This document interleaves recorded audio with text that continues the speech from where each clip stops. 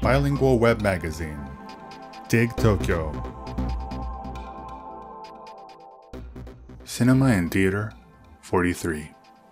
Otomo Katsuhiro and How Akira Changed the West's Perception of Anime. 1.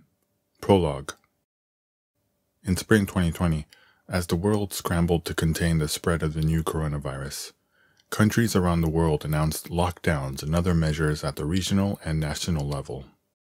Italy, France, Germany, Spain, and the US. Meanwhile, in Japan, the government asked schools to shut down and spent weeks debating whether to announce a state of emergency. Japan's post war constitution is predicated on the notion that national emergencies do not occur, and the government only has limited powers to take any sort of decisive action. The number one thing on many people's minds was what was to become of the 2020 Tokyo Olympics and Paralympics. Around the end of March, the anime classic Akira began trending on Japanese Twitter. Akira begins with a scene set in 1988, where Tokyo is destroyed by a nuclear explosion, triggering World War III.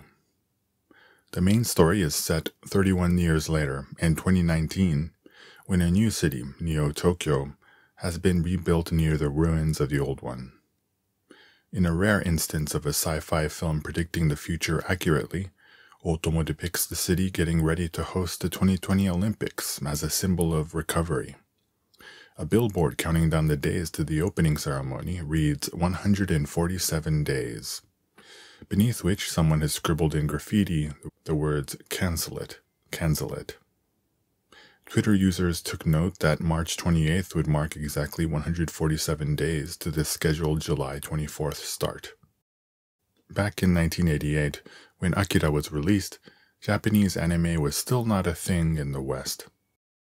While TV anime in the 60s, such as Tezuka Osamu's Astro Boy and Tatsunoko Productions' Speed Racer, had been a hit in the US, they were recognized by the general public as children's cartoons rather than anime, thought of as more American than Japanese.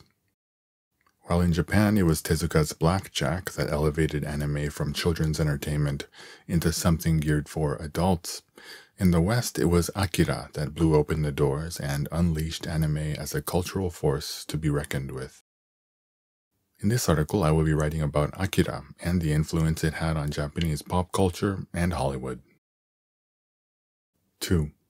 How Otomo Katsuhiro sparked a new generation of dynamism in manga and anime. Otomo Katsuhiro was born in Miyagi Prefecture in 1954. He grew up reading manga like Astro Boy and Jungle Emperor Leo by Tezuka Osamu and Tetsujin 28 Go by Yokoyama Mitsuteru.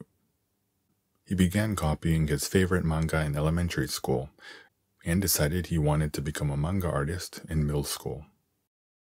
In high school, he became obsessed with movies and immersed himself in classical Hollywood cinema and the films of New Hollywood. His favorites included Arthur Penn's The Chase and Bonnie and Clyde. Those Hollywood influences would play an important role in shaping Otomo's dynamic drawing style.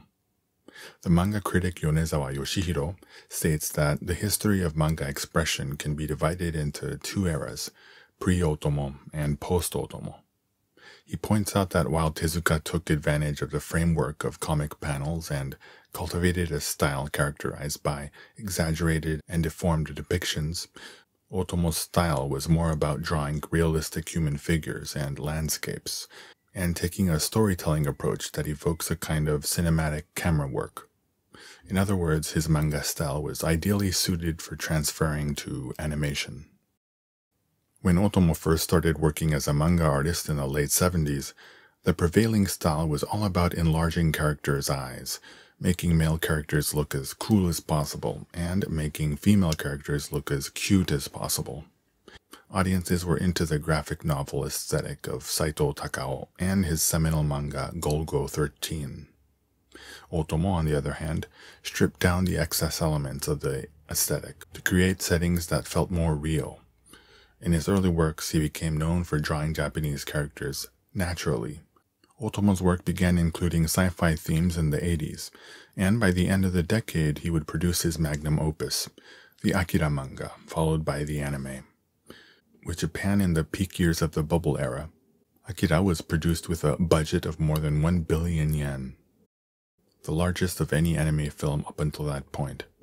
In contrast to the prevailing limited animation of the era, that allowed Otomo to bring his vision to the screen in glorious full animation.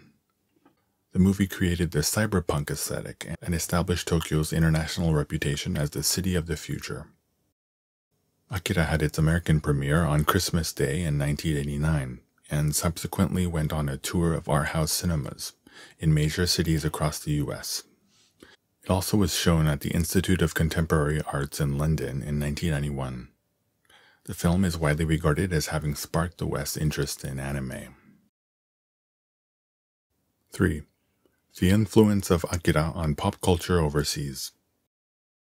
Both in Japan and overseas, Akira not only blew away audiences, but influenced filmmakers, artists, and creatives in every field.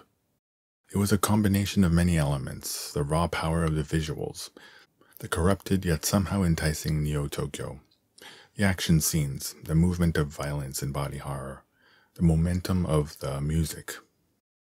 The history of anime can be divided into two eras pre Akira and post Akira. The same applies to science fiction movies. The influence of Akira is immeasurably great. Every time you see a motorcycle chase or a futuristic city depicted in a Hollywood movie, you can bet that Otomo has influenced it in some way. At the same time, Akira's story, a teenage boy discovering he has special powers while the government tries to contain and control him, has directly inspired many Hollywood movies. Midnight Special When a father learns that his son has special powers, he goes on the run while being pursued by government forces and religious extremists. Chronicle What would three high school students do if they suddenly gained superpowers? How would they use their powers? How would those powers affect their personalities? Chronicle was released as a dark, realistic take on superpowers in the same year that Marvel's first Avengers film hit the theaters. The final climactic battle takes place in downtown Seattle.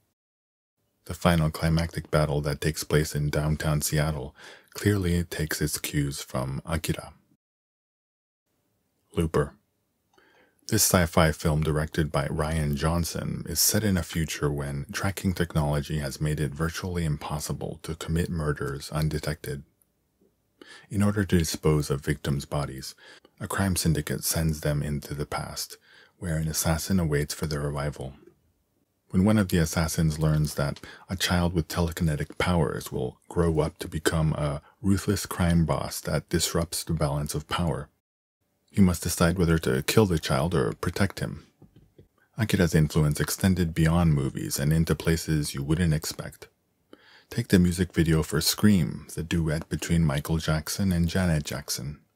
Tetsuo makes an appearance at the very end of the video.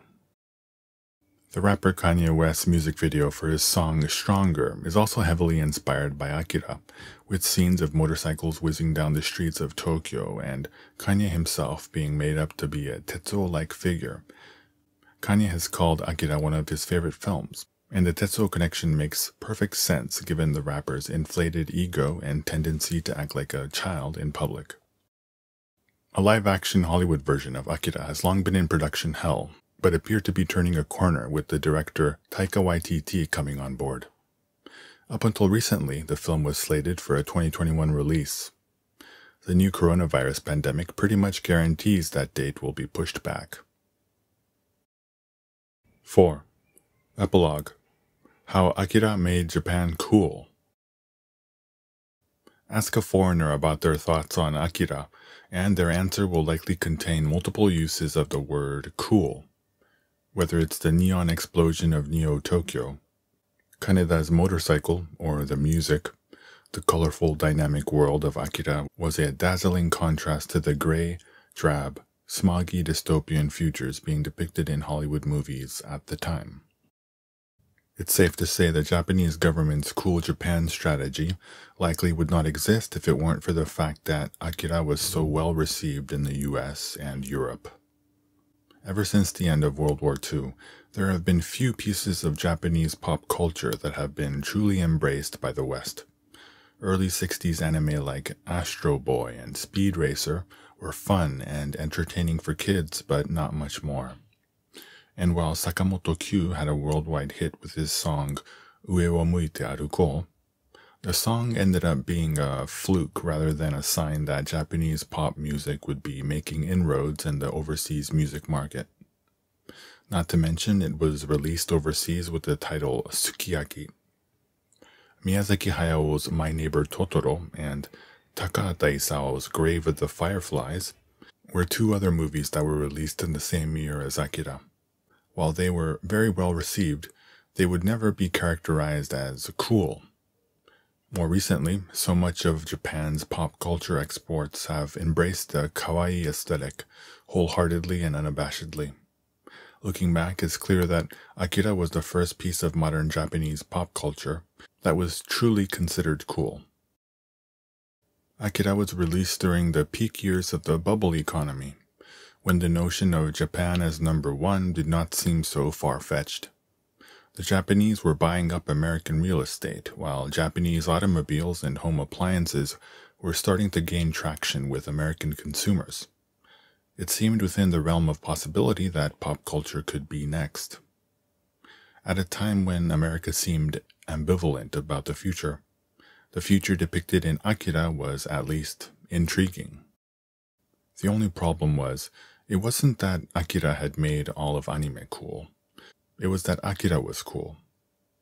When Oshii Mamoru's Ghost in the Shell was released in 1995, it was a big hit with anime fans in the US and Europe, but its technical and philosophical themes made it inaccessible for general viewers.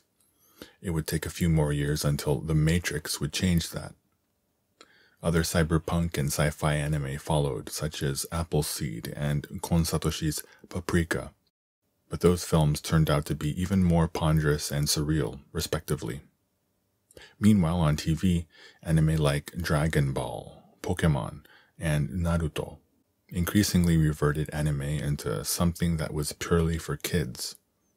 As a result, the pop culture that Japan was exporting became increasingly childlike, increasingly niche, and increasingly extreme or hentai in the general sense of the word. The Japanese government was convinced that when people referred to Japanese pop culture as exotic and weird, those were synonyms for cool. Cinema and Theater 43 Otomo Katsuhiro and How Akira Changed the West's Perception of Anime